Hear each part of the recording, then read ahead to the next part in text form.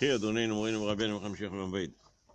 ויגש אליו יהודה, מאמר של שבת פרשת ויגש, ה' טבת, בדיוק התאריך של היום, תשמ"ח.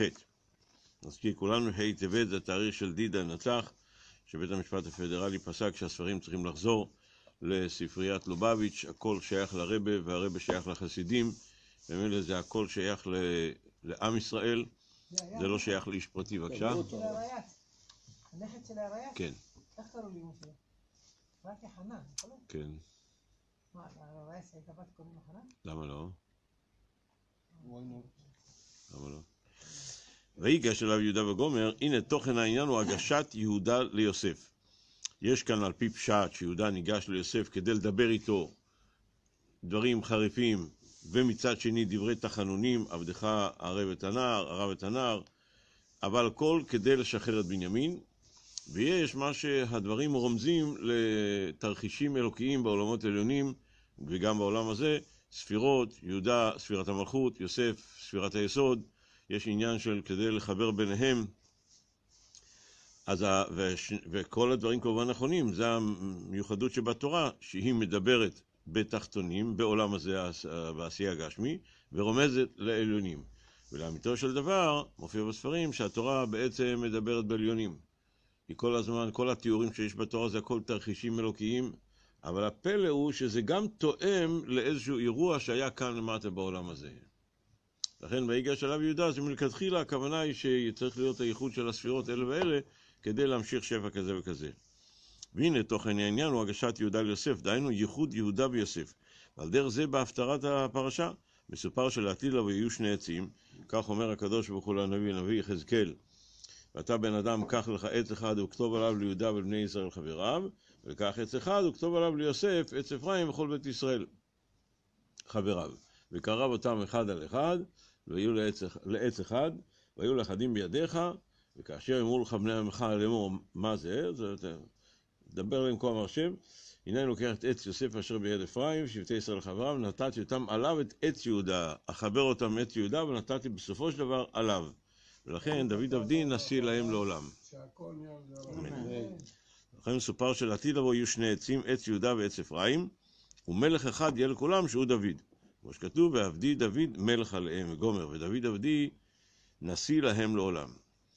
למה הוא מציין כאן, כשהוא מדבר על יהודה, הוא מדבר על יהודה, למה כשהוא מדבר על יוסף, הוא מדבר על אפרים? כשהוא מדבר על אפרים הוא עיקר שבטו של יוסף, כמו שכתוב בו, אולם אחיו הקטון נגדל ממנו. כאשר יעקב אבינו מברך את השבטים, אז הוא שם דווקא, סיכל את ידיו, שם את יד ימינו על ראש אפרים, למרות שהוא הצעיר, מנשה הבכור. אבל מדוע? כיוון שהוא עתיד להיות גדול ממנו, הוא היה ראש הדגל שכלל את שבט מנשה. יש לנו חלוקה של בני ישראל לארבעת הדגלים, אז דווקא הדגל של אפרים הוא זה שכולל את מנשה, הוא ראש הקבוצה. כמו שכתוב עליו מטה מנשה. ודוד הוא משבט יהודה. נמצא שגם בפרשה מופיע עניין של ויגש אליו יהודה ניגש ליוסף, וגם בהפטרה מדובר על החיבור של יהודה עם שבט אפרים שהוא מייצג את יוסף. נמצא שתוכן ההפטרה הוא גם כן החיבור דיוסף ויהודה, ושניהם יהיו תחת מלך אחד. ועבדי דוד נשיא להם לעולם, מלך אחד יהיה לכולם. והנה התורה היא נצחית. מזה מובן שבעניין זה ישנה הוראה נצחית לכל אחד ואחד מישראל.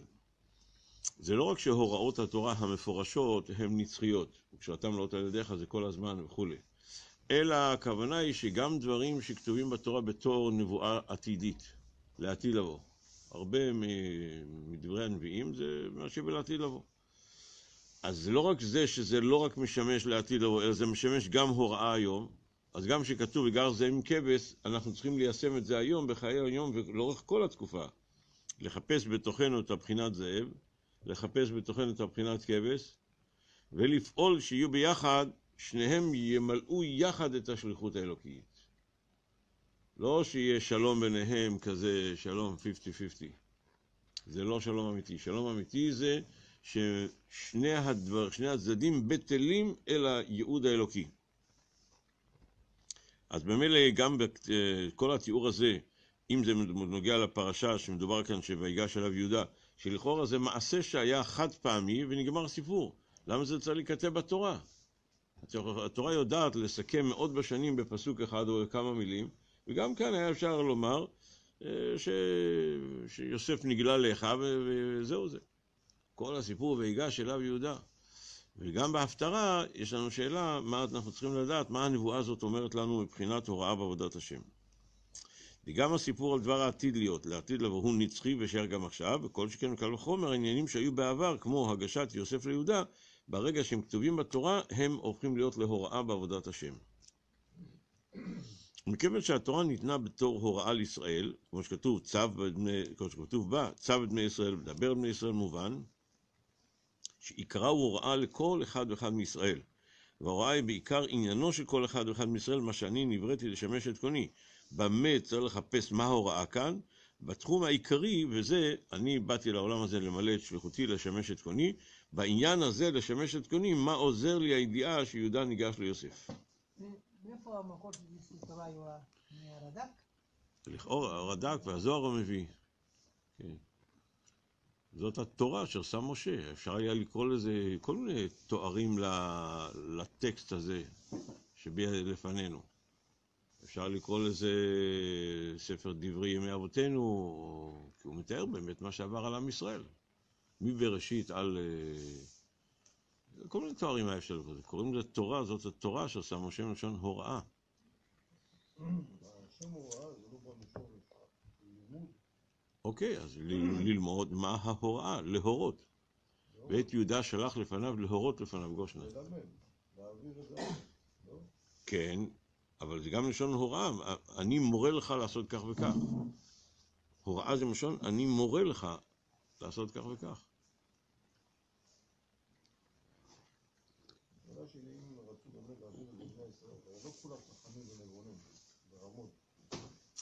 למה כתבו את התורה להרבה מאוד סודות ונסתר אז לכן יש את הרובד של הפשט. אז לכן יש את רובד הפשט שבתורה, שאפילו ילד קטן יכול להבין את זה. כל סיפורי בראשית, זה, זה סיפורים ממש עלילות רגילות, שילד קטן גם כן יכול לשמוע, הוא הלך והוא עשה כך וכך, ו... אלא שבתוך זה טמונים דברים מאוד מאוד אה, עמוקים. וביור העניין, כמבאר בדרשה פרשתנו שענייני יהודה ויוסף הם בית העניינים, תלמוד או מעשה. יהודה ויוסף מייצגים בעצם עניין. יוסף כשמו כן הוא הוספה, יוסף השם לבן אחר. יוסף עניינו כל הזמן להוסיף בתורה ומצוות. צדיק כתמר יפרח, הולך וגדל, הולך וגדל. ואילו יהודה זה עניין של הודאה, ביטול. זהו. צדקה ממני, אין שום תירוצים, צדקה ממני. לכן ההודאה של יהודה רומזת לעניין המעשה. בעניין המעשה אין תוספות ושינויים. זה לא שביום הראשון אתה מניח תפילין עם שלוש פרשיות, אחרי זה ארבע פרשיות, אחרי זה חמש פרשיות, חס ושלום. ארבע פרשיות, ממתי שניתנו התפילין, אין שום הבדל. אותם התפילין רש"י מניח, אותם התפילין משה רבנו מניח, אותם התפילין אנחנו מניחים. אין בזה שום שינויים. בכוונות ישנם שינויים נוספות, אבל במעשה אין. אז אם כן, בזה הפליגו בגמרא, נחלקו בגמרא עם תלמוד גדול או מעשה גדול. מה לייחס יותר חשיבות? יהודה גבר באחיו, והוא המלך, שעיקר עניינו לפסוק איך יהיה המעשה בפועל. אמר מלכה עקר טורה, עקר טורה. המלך עניינו לומר, טק, וזה חייב להתבצע. ואם המלך אמר למישהו והוא לא ביצע את זה, חייב מיתה. דוד המלך אומר לאוריה החיתי שילך הביתה, לא משנה מה התירוצים שלו, הוא לא הולך הביתה, מורד במלכות. זהו גם כן עניינו של דוד, הכתיב די ועבדי דוד דייקה. מדגישים את העניין של הביטול של דוד, שהוא בא מיהודה, שמבטא את העניין הביטול לעבודת, בעבודת השם. בעניין העבדות שייך למעשה בפועל דווקא. עבד נקרא שהוא עושה. יוסף, עניינו תלמוד, שהרי עניין התלמוד הוא באופן של להפשלה, להרחיב. ואגב, באמת, מבין השבטים, למרות שכולם למדו תורה, אין ספק, אבל על מי כתוב שהוא למד תורה? יוסף. בן זקונים, שזיו יקונים, שכל מה שלמד אצל שם ועבר, כל מה שלמד מסר ליוסף. זאת אומרת, ההדגשה היא כאן יותר מאשר אצל האחים, למרות שבפשטות ודאי גם האחים למדו תורה וגם אותם יעקב אבינו לימד תורה.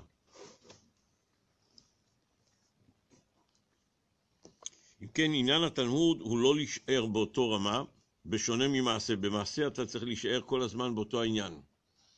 אבל בתלמוד צריך להוסיף, שעניינו מוסיף על ידי לימוד בהבנה והשגה, וזה עניינו של יוסף, מלשון הוספה.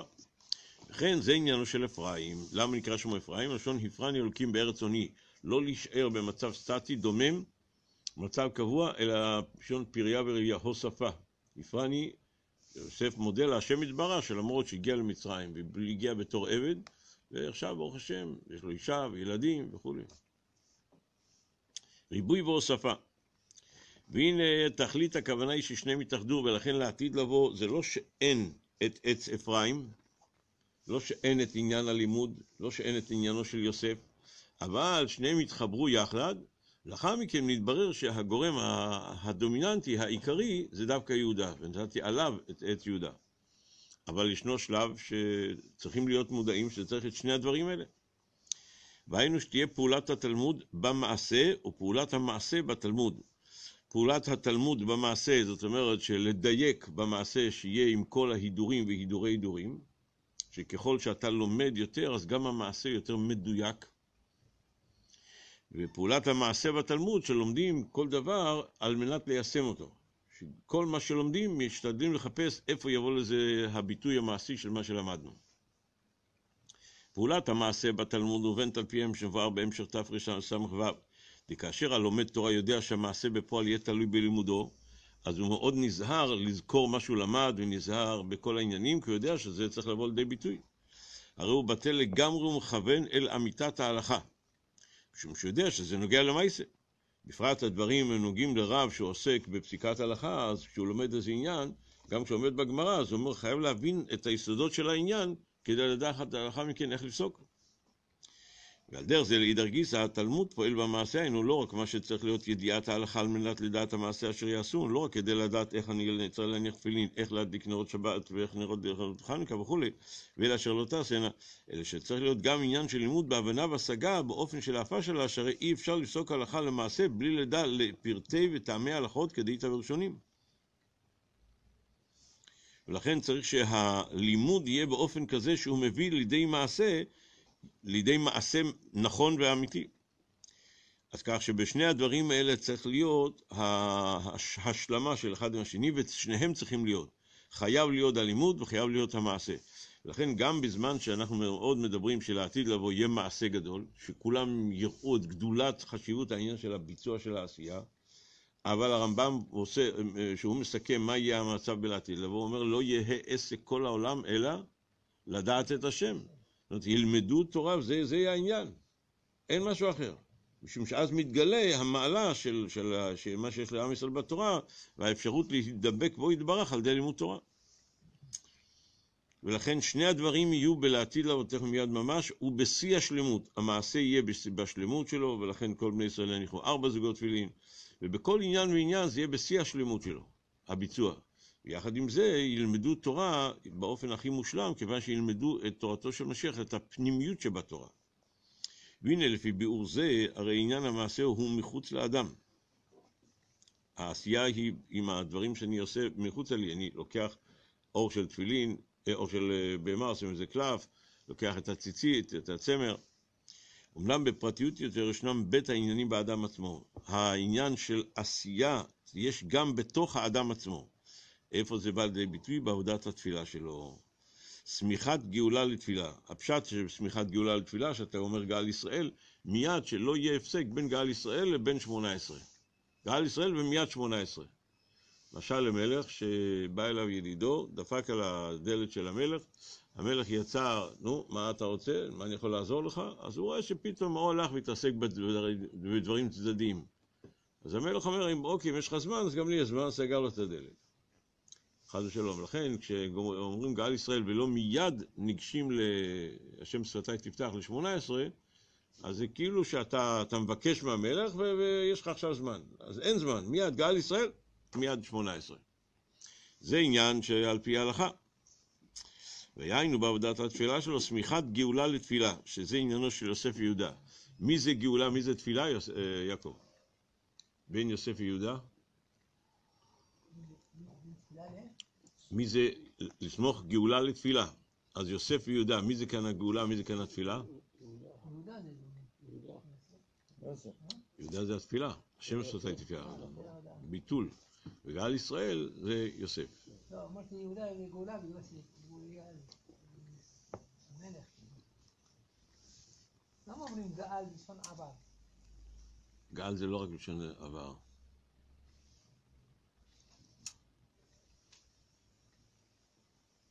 זה על שם הפעולה, זה לא, לא רק לשון עבר.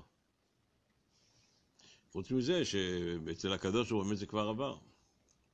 עבר, הווה ועתיד זה היינו הך, הוא כבר גאל אותנו. אפשר גם קודם להתכוון לאתמול, אתמול גל ישראל, מחרת, גל ישראל של יום שלישי. אבל היום, היום זה הנקודה העיקרית. בסדר. טוב, אז הוא אומר שזה עניין של יוסף ויהודה, שישנו עניין התפילה, תפילת עמידה, תפילת שמונה עשרה, שתפילה זו בתכלית הביטול, השם שפתיי תפתח, אדם לא יכול לדבר בכלל, וזה עניינו של יהודה. כמו שכתוב בו, הפעם אודה את השם ותעמוד מלדת. אודה את השם לא רק עם לשון תודה רבה, אלא לשון בטל, בטל לאלוקות, מודים חכמים רבי מאיר, מודה שהוא צודק, ותעמוד מלדת. תעמוד מלדת, זה נכון שבפועל היא הפסיקה אז ללדת, אבל הכוונה היא שעל ידי הודאה באים לעמידה וביטול ותעמוד, אם דואכם כהונכם, אתה אומר למישהו עמוד, מה אתה מתכוון להגיד? אתה, אל תבטא שום דבר מהמציאות שלך, אל תדבר, אל תזוז, אל תעשה. ולפני זה ישנו עניין הגאולה, שזה שייך ליוסף, והוספה, שהרי גאולה היא עניין של הוספה. בפרט כאשר הגאולה היא באופן של פדה בשלום נפשי מקרב, לאיש אין מציאות של קרב, אלא הגאולה היא בשלום. זה עניין שמיכת גאולה לתפילה, היינו ייחוד וחיבור יהודה ויוסף, שבית העניינים, תלמוד שמיוצג על ידי יוסף, ומעשה מיוצג על ידי יהודה, גאולה ותפילה, הם סמוכים זה זה עד שמתאחדים יחד, כי הם זקוקים אחד לשני. אם אין תלמוד, המעשה הופך להיות ליבש. כאשר לומדים, אז המעשה הוא חווייתי, המעשה הוא עם חיוניות, עם, עם אה, שמחה, עם הרגשה פנימית. זה עניין הייחוד שיהיה לעתיד לבוא, דוד עבדי נשיא לעולם, שיהיה חיבור בין שני העניינים האלה, גם של תלמוד וגם של מעשה. אגב, אה, במקום אחר, אה, הרבי מביא את זה, זה על פי המאמר של הרבי אדמו"ר הזקן בתורה אור, של יוסף ויהודה, שניהם באים לידי ביטוי בשני בתי המקדש, אחד משכן, אחד מקדש. יוסף עניינו קורות בתינו ארזים, זה המשכן, שלכן המשכן היה מעצי שיטים עומדים, צומח, וכל הזמן רק צומח וצומח וצומח, ולכן גם הש... העצים צריכים להיות כדרך גדילתן עומדים ולא שוכבים, למרות שהיה אפשר לשים אותם אחד על השני, לא, צריך להיות עצי שיטים עומדים. זה עניינו של יוסף, ואילו יהודה זה עניין של אבן, לכן בית המקדש היה עשוי מאבן, ואדרבה אסור לשים בו עץ בולט כלל בבית המקדש. כן, אנחנו יודעים שיש משיח בן דוד, שזה משבט יהודה, ומשיח בית יוסף, בן יוסף. בן יוסף, בן יוסף. מה בא, לרמוז לנו פה? יוד, יוד ויוד, שם השם. יפה, יפה. שניהם זה משיח, זאת אומרת הקדוש ברוך הוא. משלימים אחד את השני. כן. אמנם עדיין צריך להבין בכללות תוכן הסיפור דהגשת יהודה על יוסף, שמסופר בה כתוב כי כל פרטי דברי יהודה על יוסף שאמר לו ידבר נא עבדך דבר באוזני אדוני, פירש רש"י ייכנסו דבריי באוזניך, ואחר כך סיפר לו, חוזר ומספר את כל פרטי המאורעות, כאילו אנחנו לא יודעים מה היה שם. אדוני שאל את עבדיו, בסדר, אנחנו כבר היינו, היינו בסרט הזה, אנחנו שמענו את הדברים האלה. והוא חוזר כל פרטי המאורעות שהראו. שיהודה לא שמע, שיוסף לא שמע. אין בעיה, לא שאת, אין בעיה, שהתורה תכתוב ויספר, וידבר אליו את כל הקורות אותם. שסיפר לו מה שקרה. בשביל מה צריך לחזור ולספר עוד הפעם? כל מילה, כל אות בתורה. או, זה- זה שאומר. עולם ומלואו. יפה. ואחר כך סיפר את כל פרטי המאורות שהראו עמהם עד אז. ולכאורה מדוע מעריך, העריך הכתוב בכל פרטי הדברים. ועוד צריך להבין, נראה שכ"ד. ולכן דברי יהודה כתיב, ולא יכול יוסף להתאפק. וגומר. משמע שזה תוצאה מדברי יהודה, שהוא הגביה אותו לדרגה כזאת שהיה חייב ל... התגלות. להתגלות. ולכאורה, הרי רוב מה שסיפר יהודה ליוסף, יוסף ידע כבר מקודם. זה לא היה חידוש בשבילו, ידע את כל העניינים. עכשיו, ברוב דבריו חזר על מה שיראה מקודם. אם כן, איך זה גרם זה לשינוי גדול כזה ביוסף, שלא יכול להתאפק והיה חייב להתגלות. הרגשות גאו עד כדי כך שהוא, זהו, לא. חייב להתפרץ בבכי. אך העניין הוא כבר בארוכה בתורת חיים לאדמו"ר אמצעים. והחידוש בדברי יהודה שהיה העלה על ידי דברי, דבריו את כל העניינים שדיבר על אודותם לדרגתו. זה לא סתם שהוא סוקר את הדברים, כמו להבדיל איזה סקירה עיתונאית, שהעיתונאי מדווח במקרה הטוב רק על העובדות ולא משנה אותם, השם ישמור. או, אז אני לא רוצה לי- עכשיו להיכנס אתה לעניין. אבל לא, לא. יהודה, על ידי האמירה שלו, הוא פועל, הוא מעלה את האירוע לדרגה אחרת לגמרי. היינו שפעל בירור וזיכוך בכל הפרטים אלו והעלה אותם לשורשם ומקורם. דין ליהודה הזכיר בדבריו אודות מכירת יוסף, שבחיצוניות זה היה דבר בלתי רצוי, ועד שזה פעל ירידה אפילו ביהודה, כמו שכתוב וירד יהודה, מיד אחרי מכירת יוסף כתוב וירד יהודה, ואז נו, כל הסיפור הזה שהולך עד אה, חברו, איש עדו לעמי, ואחר כך היה עניין של מעשה תמר. אבל אומרים חז"ל, מה זה וירד יהודה? שהורידו מגדולתו, כי טענו שמכירת יוסף הייתה באשמתו, מחמת שלא מיכה בהם. אם אתה היית, ראובן לא היה, אז ממילא האחריות נופלת עליך, אתה המלך של השבטים, ואם אתה אומר לא, אז בכלל לא, לא רק שלא להרוג אותו, בכלל לא לעשות שום דבר, אז uh, ככה היה עושים. אז עכשיו שיהודה מדבר את הדברים, אז אומנם על ידי שדיבר יהודה בעניינים אלו, הוא העלה אותם לשורשם ומקורם, ששם הם עניינים נעלים ביותר. העניין הזה של מכירת יוסף זה החלק הטוב של הגלות. כי הייתה גזירה שיעקב אבינו ירד למצרים, ואם לא היה יורד ברוב כבוד על ידי שיוסף ירד לפני כן, היה יורד בשרשרות של ברזל. הייתה נוצרת איזו מלחמה, לוקחים את כל המשפחה בשבי ומגלגלים אותם למצרים כמו עבדי עבדים. והקדוש ברוך הוא רצה שזה יהיה בדרך טובה, מדוע? משום שכל העניין הזה, כל מה שמתרחש כאן למטה, שאדם עושה איזה פעולה למטה, זה נובע מהתרחשות אלוקית של ספירות אלוקיות שם למעלה. כשהביטוי שלהם כאן למטה הוא בדיוק כך וכך וכך.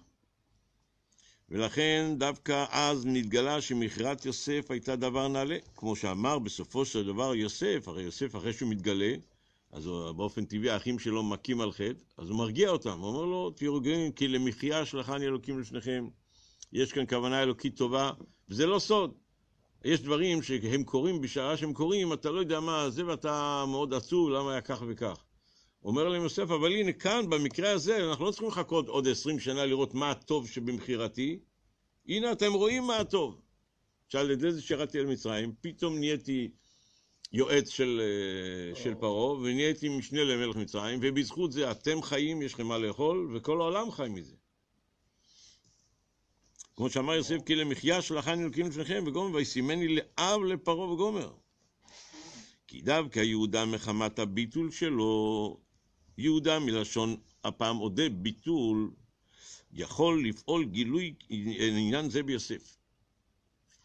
אתמול למדנו במאמר שיהודה, על ידי שהוא בת... בכזה ביטול, אז הוא גרם שליוסף נמשך דרגה מאוד גבוהה, כי כמוך כפרעה נמשך לו מבח... מבחינת כתר של פרעה, פרעה דהתפרעו כל מיני אורים, דרגה, מבחינה באלוקות, בעצמות האלוקות, זה נמשך ליוסף. על ידי הביטול שלו הוא פעל המשכה נעלית כזאת גבוהה ביוסף, ביוסף שיוסף התעלה, ולכן גם בפרשה וגם בהפטרה, יהודה בסופו של דבר הוא הגורם האמיתי, הדומיננטי, הוא זה שמשפיע. נראה בפשטות שיוסף הוא המלך, סגן המלך, וצריכים לבוא לבקש ממנו רשות, אבל באמת יוסף פעל עליו עלייה כי כמוך פרעה. הוא העלה אותו לדרגה של פרעה, ובאמת, אחרי מות פרעה, הרי הוא היה 80 שנה במצרים, בן 30 בעומדו לפני פרעה, ונפטר בגיל 110. 110 פחות 30 זה 80. 40 שנה ראשונות היה משנה למלך מצרים, ו-40 שנה לאחר מכן היה מלך במצרים. כן. אז אם כן, אז, ה- אז יהודה פעל עלייה ב- ביוסף. אנחנו יודעים את זה שספירת המלכות, בגלל הביטול שלה, היא פועלת עלייה בכל... ה- המעשה פועל עלייה בכל כוחות הנפש, אין חכם כבעל ניסיון. החוכמה מתעלית על ידי העשייה. משל המנוף, כפי שדיברנו על זה במאמרים הקודמים, שהמנוף מרים את הבניין מלמטה, אז כל הקומות מתעלים על ידי זה, אבל אם אתה תופס רק מלמעלה, אז רק מה שמלמעלה מתעלה, וכל ה... באמצע לא מתעלה. לכן דווקא על ידי העשייה, זה עניין היהודה, עניינו של העשייה, אז כל המבנה הנפשי של האדם מתעלה. עשייה לעילה, יש עניין מאוד גדול בעשייה שהיא פועלת הבהרה של עניינים שכליים, דווקא על ידי הביצוע של הדברים שבהם בא לידי ביטוי כל העניין הזה. שלאה קרא לו יהודה, לא קרא בגלל הביטול. או, להשם. זה הפשט, אבל באה תורת החסידות והקבלה ואומרת בתעמוד, זה לא משון שהיא נפסק, נפסק לה אפשרות ללדת ילדים, אלא היא הגיעה לכזה ביטול, אומרת, בואי נא, אני ביטול מוחלט. איך זכיתי דבר כזה? מי אני ומה אני? רק למלכות יש לה כזה ביטול. תעמוד, כאן הוא הסביר עכשיו, ותעמוד מלשון עמדו לכם. עמודו. עמוד. אויס. יהודה זה קיצור, נכון? יהודה. ככה אומרים יהודה. אוקיי. ולכן, אה, דווקא יהודה מחמת מעלת הביטול שלו יכול לפעול גילוי עניין זה ביוסף. ולכן על ידי זה פעל ביוסף עניין חדש.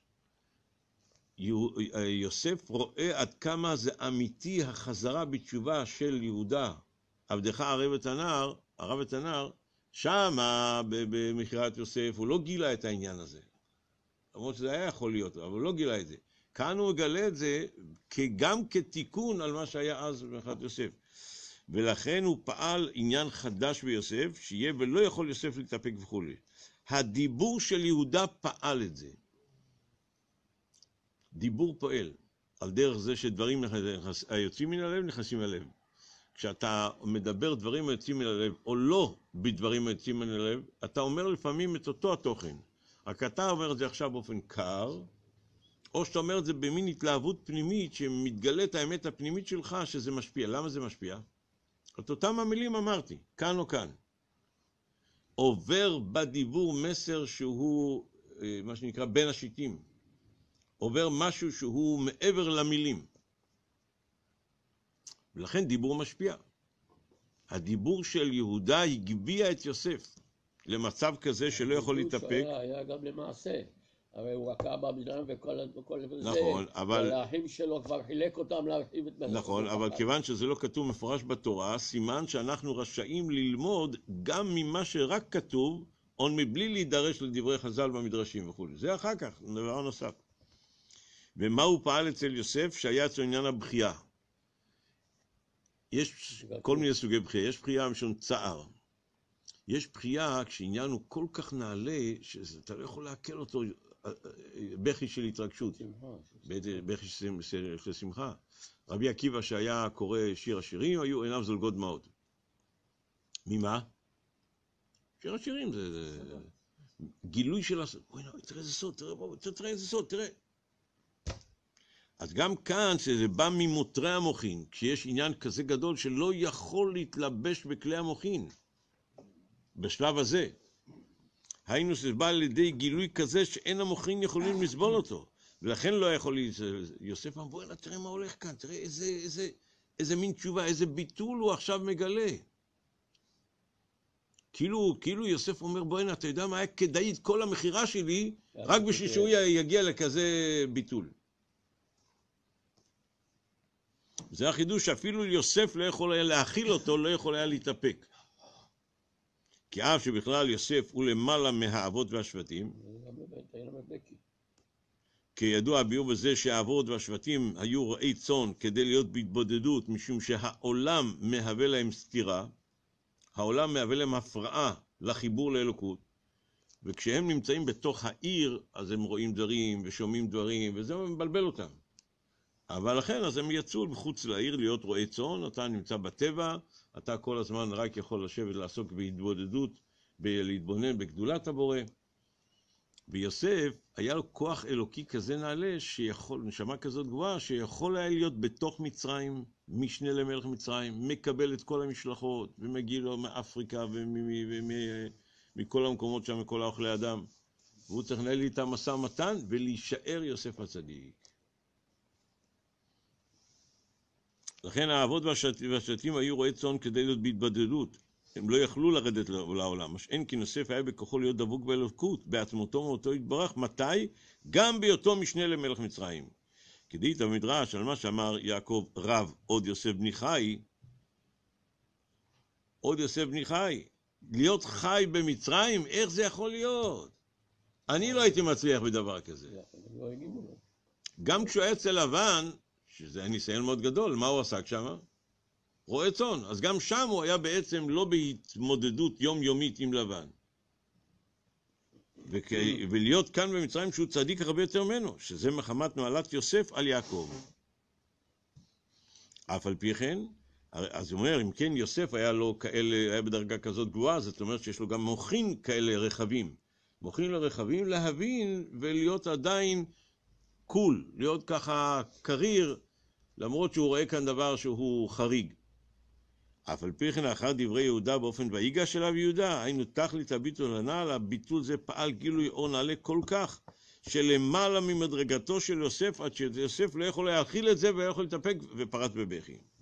עד שהכל נשמע בית פרעה, אומר הזוהר, ביתא דהתפריעו והתגל ממני כל נהורין. המקור שממנו מתגלים כל האורות, כדית בזוהר על הפסוק, עד שזה רומז לעצמותו ומהותו יתברך. כן, כן.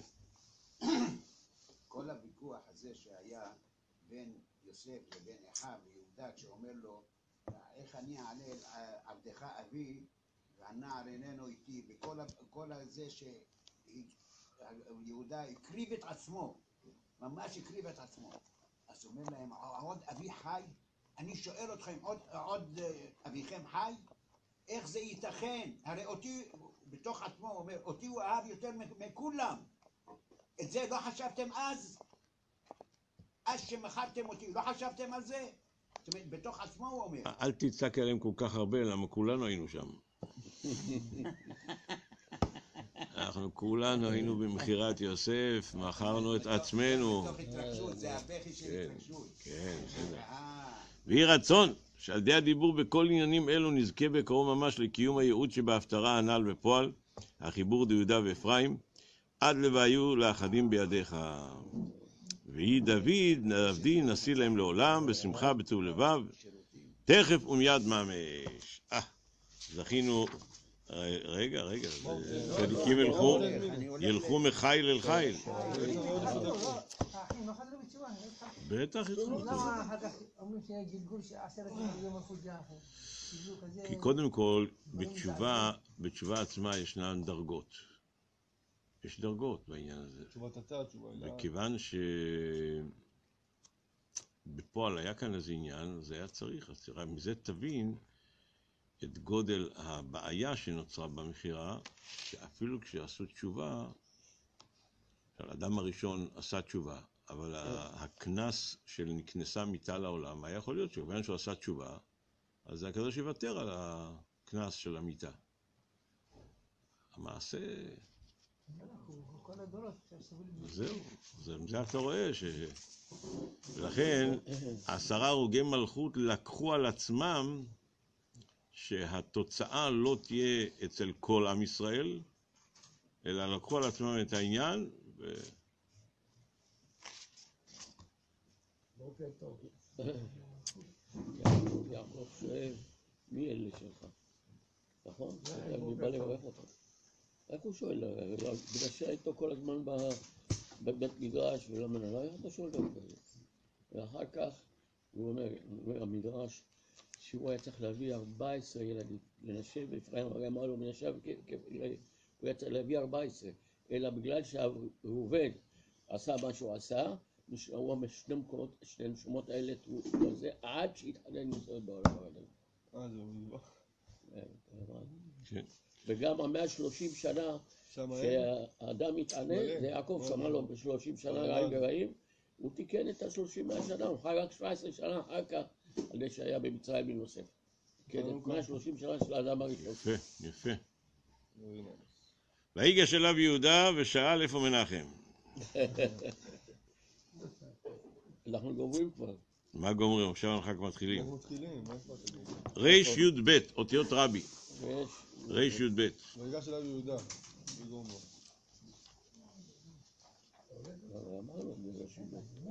ויש- לא, קודם היה זה רי"כ, נשמע- עכשיו היה זה לו... נשמע לא הכי טוב, זה... לא, זה אותיות רבי. לא, אתה צריך לדעת איך לקרוא את זה. אותיות רבי. אה, רכב, אנחנו בית, רי"ב. ויש, יש י"ב. ויגש אה, ט' טבת תשמ"ו, ויגש אליו יהודה וגומר. הוא מביא על זה כבוד קדושת אדמו"ר זקן בתורה אור, ריש פרשת ויגש.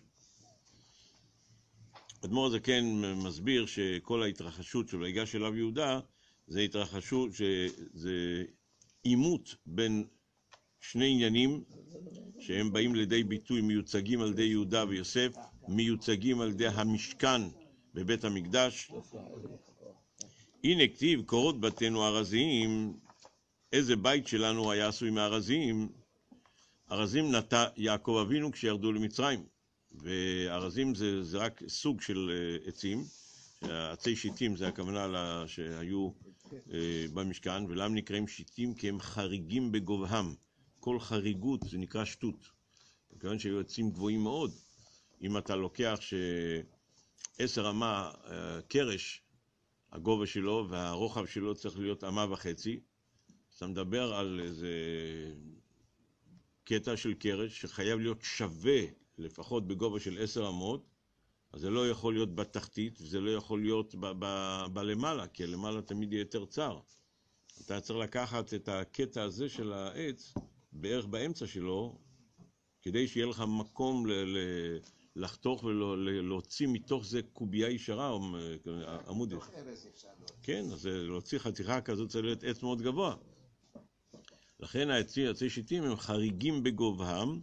בוקר טוב. על קורות בתינו ארזים וגומר יש להבין ההפרש בין המשכן לבית עולמים. בית המקדש. בבקשה? אם זה ארזים לא? כן, ארזים. אתמול היה מלא. רוצים רוצים יחי בטלוויזיה, יש י"ב. רוצים יחי בטלוויזיה. חבל על הזמן. זה לא חנוכה. אלוף, בראשית קראנו. מה הבעיה? יש כסף, רק צריך לחפש אותו. רק צריך לחפש, בואו תסתכל איתי בינתיים. אני אומר לו כך, אני בראשית. תוך חמש דקות אני הולך. אתה לא הולך, אתה יושב כאן עכשיו, ואנחנו צריכים להביא את המקדש, אה, משיח. להביא את המשיח.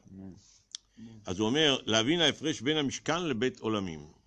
שבמשכן היה דומם למטה, כמו שכתוב, "ואף- מן העפר אשר יהיה בקרקע המשכן וגומר.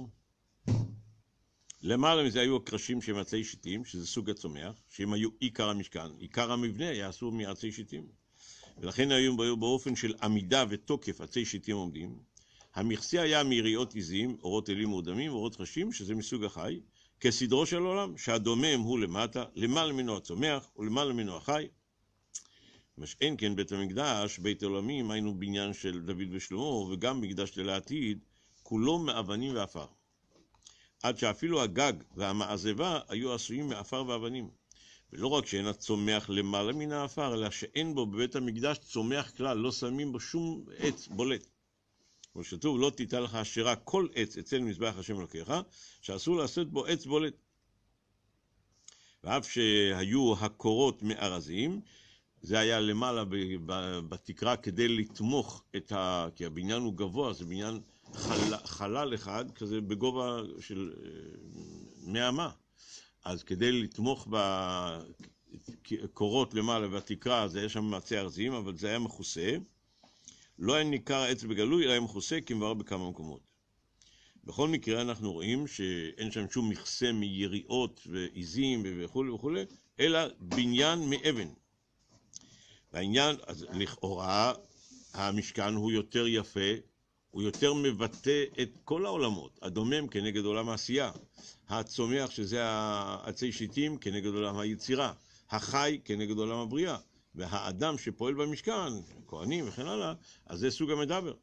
המציאות הזאת של דבר מסוים שאתה רואה בו את כל סדר ההשתלשלות, הקבלה לכל העולמות, זה דבר מאוד נעלה. ואילו בית המקדש היה עשוי מאבן, דבר פשוט מאוד. לכאורה הוא הכי נמוך.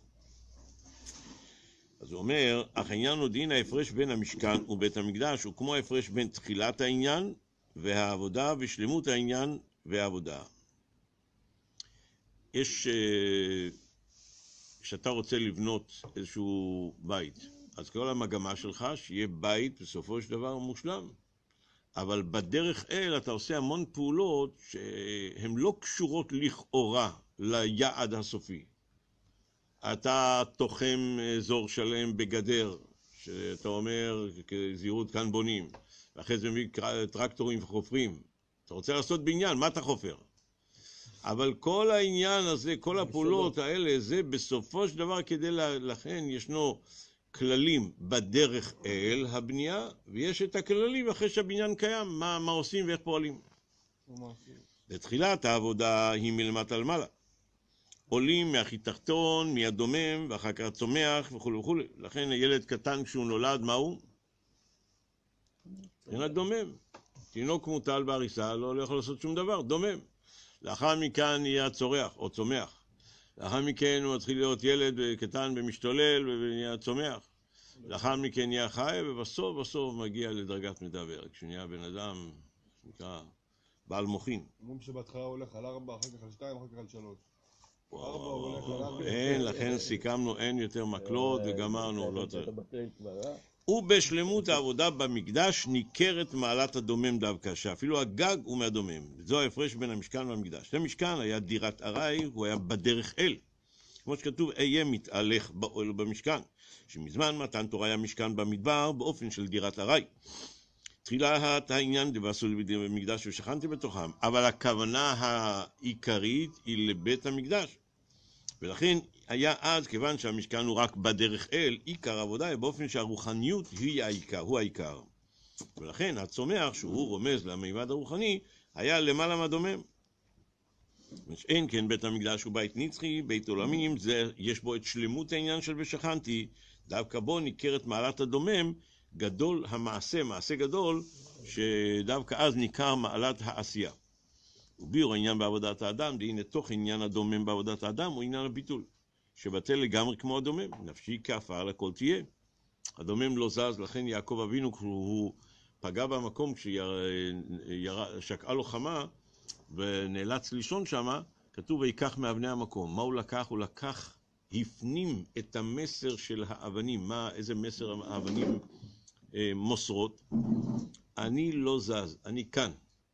אתה יכול לדבר איתי עד מחר, אתה יכול לצעוק עליי עד מחר, האבן לא זז. יעקב אבינו ידע שעם טיעונים שכליים הוא לא יסתדר עם לבן, צריכה להיות כאן התבטלות של למעלה מטעם וטעת, ביטול מוחלט. עם הביטול הזה מוחלט שבדוגמת האבנים, מזה הוא יוכל לעמוד כנגד לבן. לכן תוכן העניין בעבודת האדם הוא עניין הביטול, שבטל לגמרי כמו הדומם, כמו שאומרים, ונפשי כף על הכל תהיה. זה עניין יראת השם, עניין הביטול. ויש בזה היבט מדרגות, כבר בכמה מקומות שיש יראה קודמת לעבודת השם, שהיא בכלל מאפשרת שתיגש לעניין, כי אם אין יראה, אם אין יראה אז אתה לא תבוא לשיעור, לא תלמד, לא תעשה שום דבר. לכן צריכה להיות יראת התאה הראשונית. ישנה יראה הבאה לאחרי שלמות העבודה. כמו שכתוב, ויצווינו השם לעשות את כל החוקים האלה, ואחרי שאתה עושה את זה, אז ליראה את השם אלוקינו. שהיראה באה אחרי שלמות העבודה. משום שגם שאחרי שאדם מתעלה ללימוד יותר ויותר, צריך לסכם לעצמו, ולמה אני עושה את הדברים? לא בגלל ההבנה וההשגה, אלא ליראה את השם. מצד הביטול לאלוקות. זה ההפרש בין המשכן והמקדש, זה במשכן היינו בתחילת העבודה, אז היה הביטול מבחינת עפר התחתון, שהוא בתור ההכנה והקדמה לעבודה עצמה, שהיא מבחינת צומח. העיקר במבנה של המשכן היה עצי שיטים. הם היו החלק הבולט והם היו עיקר המבנה. אין כן במקדש היה עניין יראה ילאה. אמנם זה האבן, אבל זה, עניין, אבן זה ביטול, אבל זה כבר ביטול של יראה ילאה. לכן הגג היה עשוי מאבן. הגג הכי גבוה עשוי מאבן גם כן, זה יראה ילאה. הביטול של למעלה מהעבודה, ולכן שם היה גם הגג מעפר ואבנים דווקא. הנה זה שבמקדש היה גם הגג והמעזה והמאבנים והעפר, עניין הדומם, הרפוש העניין הוא שהיה גם עניין של עבודת האדם בכל הפרטים, יחד עם זה, מה זה בכל הפרטים? מתוך רגש, שזה בחינת צומח, ומתוך אה, הבנה והשגה, שזה עניין של הבינה, ויחד עם זה גם אפילו חוכמה, ויחד עם זה, מעל כל זה העניין של אבן יראה. זאת אומרת, כיוון שהיה עבודה בכל הפרטים, ויחד עם זה היה עניין של הביטול, לכאורה צריך להבין איך אפשר שתהיה עבודת השם, שאתה מתוך הבנה והשגה, ויחד עם זה ביטול. כשאני מבין ומשיג, אז לכאורה אני עושה את הדברים בגלל שאני יודע מה הרעיון שנמצא כאן. אז אני כבר לא צריך לעשות את זה בגלל שהשם ציווה. אני מבין את העניין, לכאורה. לכאורה ביטול ועבודת השם הם לא רק בדברים נפרדים, אלא הופכים זה מזה. לעניין הביטול מורה שהוא אינו מציאות כלל. שאין כן עניין העבודה, תוכנו שיש מציאות של האדם העובד, ועבודתו צריכה להיות בשלמות, בכל לבבך, בכל נפשך, בכל מודיך. ראינו שיש לבבך, לבב שלך, ונפשך ומודיך, ולא עוד שיש כל לבבך, וכל נפשך, וכל מודיך, ובזה צריכה להיות עבודת השם, לכאורה זה הפך עניין הביטול. אך העניין יובן על פי המבואר בהמשך תרס"ו, במעלת עבודת עבד בשלמות. יש שני דרגות כלליות בעבד. יש עבד שעליו אמרו חז"ל, עבדה בהפקר הניחלה. הוא לא רוצה לעשות את מה שהאדון אומר לו. ואין לו, כל הזמן רק אה, תן לו לבזבז את הזמן. אבל יש מצבים שאין לו ברירה, הבעל הבית מאיים עליו, מה שנקרא, אז אין לו ברירה, אז הוא עושה את זה. אבל הוא לא מונח בעניין, זה רק, רק כוח המעשה. ששלמות העבודה אבל של עבד, שהיא כבטל לגמרי אל האדון, עד כדי כך שהוא מתאחד עם רצונות ותענוג האדון, שיש לו תענוג ויש לו רצון ויש לו חב"ד שבראש, יש לו מידות שבלב, יש לו ג' לבושים, מחשבה, דיבור ומעשה. מכל מקום, כל עניינים אלו אינם של העבד אלא של האדון. הוא אומר, הרצון שלי זה מה אברהם רוצה. הוא לא מחפש. בשלב הראשון הוא כאילו שאל לגבי הבת שלו, אבל לאחר מכן הוא בטל לגמרי לשליחות. ואדרבה, זה שליח האמיתי, שהוא אדם בעל בחירה, בעל חשיבה עצמית, ובכל אופן הוא בטל אל המשלח. כי אם זה אחד כזה שאין לו חשיבה עצמית, אז זה רובוט, אז זה לא חידוש, זה לא, רובוט לא שליח. ודווקא שהוא מתאחד כל כך עם רצון ותענוג האדון, עד כדי כך שגם המחשבה דיבור שלו, עצמו, של השליח, הם של האדון. שתענוג העבד הוא תענוג האדון, ועל דרך זה בשאר הכוחות. והיינו אף שבחיצוניות אפשר לחשוב שאלה הם כוחות העבד, מכל מקום בפנימיות ובאמיתיות אינם אלא כוחות האדון. לכן הוא אומר באמת עבודת השם אינה בסתירה לביטול, השאלה באיזה דרגה. בשלב הראשון באמת אנחנו בהרגשתנו ישות ומציאות, ורק כשאנחנו מבטלים את עצמנו, טוב עכשיו זמן תפילה, נו אין ברירה, טוב גמרנו להתפלל, חוזרים לעניינים שלנו. עכשיו זמן של לימוד תורה, גמרנו ללמוד, עכשיו חוזרים, כל הזמן הנקודה של האני עדיין נשארת כגורם מאוד מאוד משמעותי.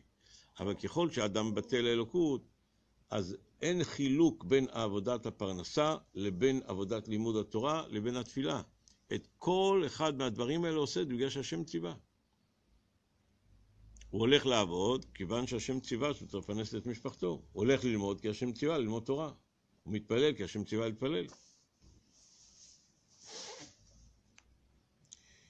מזה מובן שהביטול האמיתי אינו בסתירה אל העבודה, אם אנחנו מדברים על עבודת השם שהיא כמו שצריך, כי אדרבה, זהו שלמות הביטול, שאינו שולל את שאר הכוחות, כי כאשר הביטול שולל את הכוחות, הרי זה גופה שצריך לשלול אותם, מורה שאין הביטול בשלמות. אין כן, כשיש שלמות הביטול, היא לא שהכוחות מתבטלים, אלא שהכוחות גופה הם כוחות האדון. ולכן השלמות של העניין זה שיהודי כן פועל ועושה את כל העניינים, אכילה, שתייה, עבודה וכולי וכולי, אבל כל זה בדרך פשט בכל דרכי, בכל דרכי חדאיהו. אין לו מחשבה, לכן האבות היו מרכבה. מה זה מרכבה? לאן שהוא הלך, באיזה מעשה שראית אותו שהוא עושה, הוא לא עושה את זה מצד העניין האישי שלו, אלא כיוון שזה רצון השם, לכן אני עושה את זה. זה מרכבה, ביטול מוחלט. ראינו שום שעל ידם, על ידי המעשים האלו, משלים את שליחות האדון ומביא את האדון לשלמותו כביכול. האדון רצה שתהיה מציאות של עבד, שיש לו לבבך, נפשך, מורדיך, ורצה שתהיה עבודת העבד על ידי כוחותיו של העבד, כמו שכתוב למעשה ידיך תכסוף. הקדוש ברוך הוא נתן לנו בחירה, כיוון שהוא רוצה שאנחנו כאנשים בעלי בחירה, נעשה את רצונו יתברך. אז יש בזה חידוש. אחרת מה אתה, יש מלאך, מלאך הוא עושה גם כן את רצון השם, אבל אין לו בחירה. ולכן עשה אדון את מציאות העבד. היינו שהתואר אדון, אם יש אדון, אז יש גם עבד. מכריח ומחייב ומצית מציאות העבד, כשם שאין מלך בלא עם, כך אין אדון בלא עבד. ולכן האדם הראשון ששואל אותו הקדוש, ולי איך לקרוא לי, הוא נתן שמות לכולם. אז אומר לו, עדני, א' ד' נ' י', למה? כי אתה אדון לכל בריותיך. אתה בראת את עולמך באופן כזה שיהיה ניכר, שיהיה אפשרות שיהיה ניכר שאתה אדון, וכל ברייה יכולה להגיע להכרה שיש לה בעל הבית. אה, למה אנשים כן. בעניין זה גוף הנרגש אצל העבד שכל מציאות כוחותיו היא להשלים רצון האדון. אל- לכן הביטול האמיתי של חסיד זה שאין לו את חייו הפרטיים, רק מזמן לזמן הוא עושה את רצון הרבה, אלא כל המציאות שלו, הוא צריך לדעת שהוא ירד לעולם זה כדי לבטא, למלא את השליחות, שזה השליחות של הקדוש ברוך הוא, כי עניינו של הרבה זה רק לגלות את עניינו של הקדוש בעולם, אין לו שום מציאות אחרת. ומילא כל מי שהוא חסיד, חסיד שליח של הרבה, אז צריך לדעת שכל ההוויה שלו, זאת אומרת הבית, המשפחה והילדים, כל זה כדי למלא את השליחות של, של הרבה. וככל שבטלים אל השליחות, כך רואים שיש יותר חיוניות, יש יותר שמחה, יש יותר חיות, יש יותר שפע. עבד מלך, מלך. כשהעבד הוא בטל אל המלך, אז המלך מתגלה דרכו עם כל העוצמה שלו.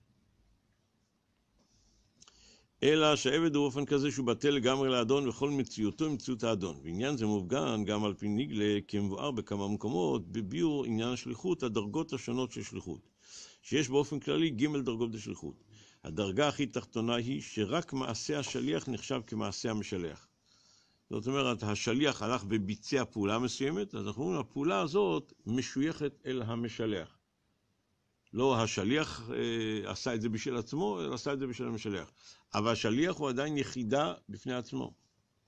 אבל הדרגה הכי עליונה שבשליחות היא שכל מציאות השליח, עם כל כוחותיו, לבבך, נפשך ומודיך, אינם אלא מציאות המשלח.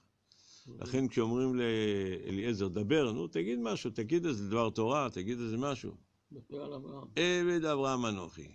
אין, אל תבלבלו את המוח. עבד אברהם אנוכי. כבר בכמה מקומות פרטי עניינים אלו בנוגע לפועל בעבודת האדם. יש סיפור שהרבי הקודם שלח פעם את הרבי שלי, את המלך המשיח, לאיזה אישיות תורנית גדולה, לאיזה אדמו"ר או איזה ראש ישיבה אחד, אני לא זוכר את הפרטים המדויקים, ו...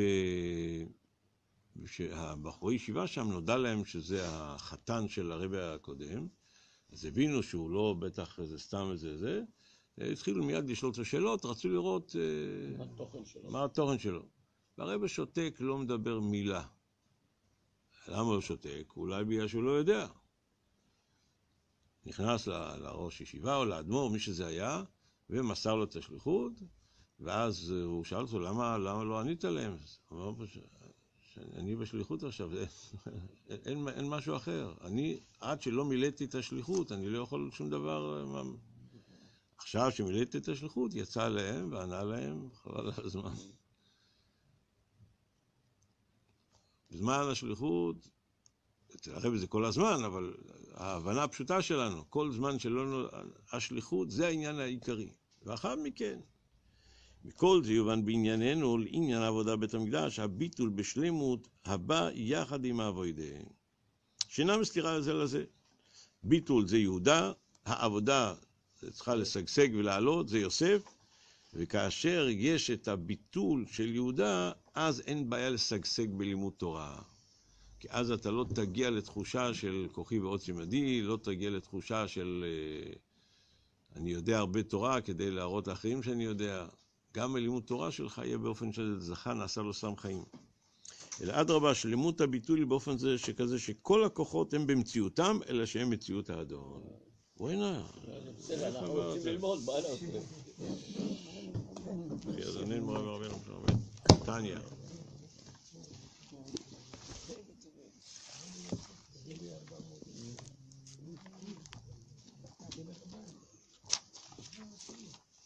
י"ב, י"ב אנחנו. היינו בתחי רבנן.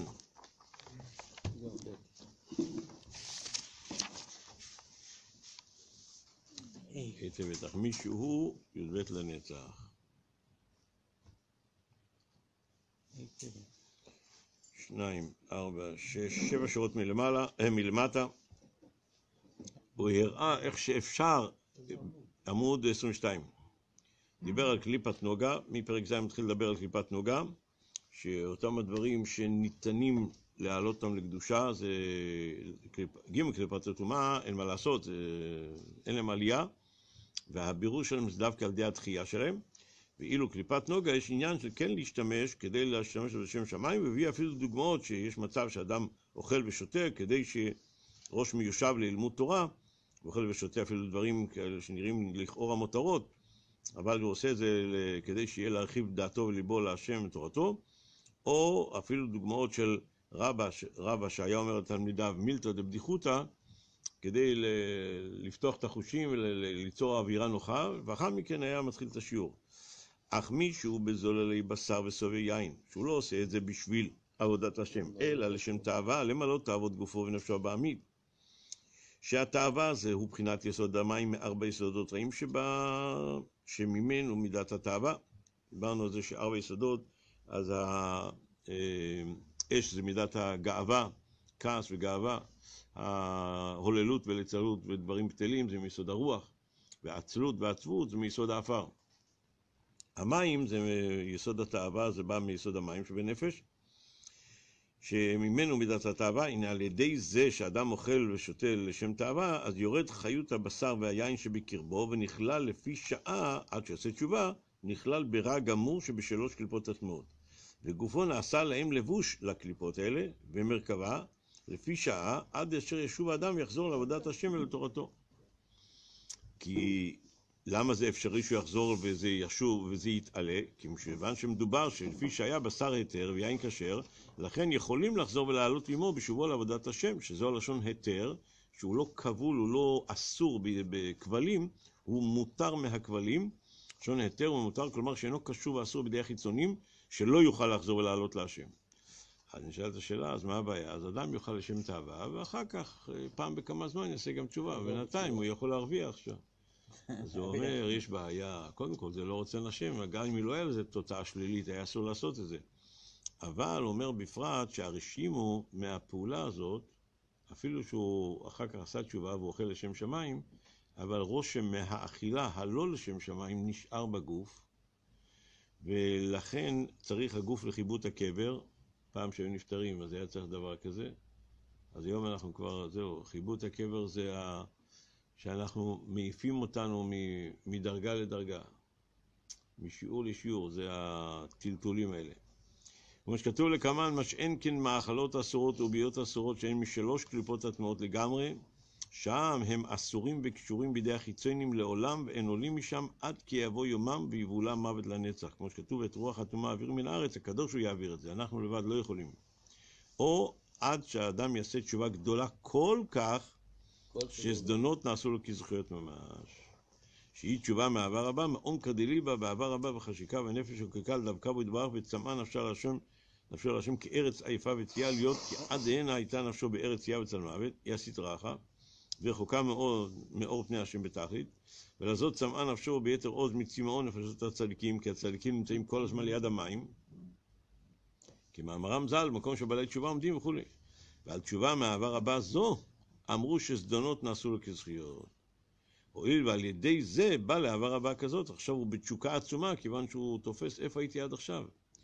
אבל תשובה שלא מאהבה זו, אף שהיא תשובה נכונה, והשם יסלח לו, מכל מקום לא נעשו לו כזכויות, ואין המעשים עולים מהקליפה לגמרי, לגמרי עד את קץ שיבולם מוות לנצח. ולכן אנחנו צריכים להשתדל בעניין הזה של כל דרכיך דהו, שבכל דבר ודבר לאכול מה שאנחנו צריכים לצורך הבריאות, וגם את זה לכוון שרוצים בריאות, למה רוצים בריאות? לא בגלל שזה תקנות של משרד הבריאות, אלא רוצים בריאות כדי שיהיה הגוף בריא ושלם לעבודת השם. יחי אדוננו. נוכל להכריז, יחי אדוננו, מורנו ורבנו, מלך המשיח לעילם בויד, יחי אדוננו, מורנו ורבנו, המשיח בויד, יחי אדוננו, מורנו ורבנו, המשיח בויד.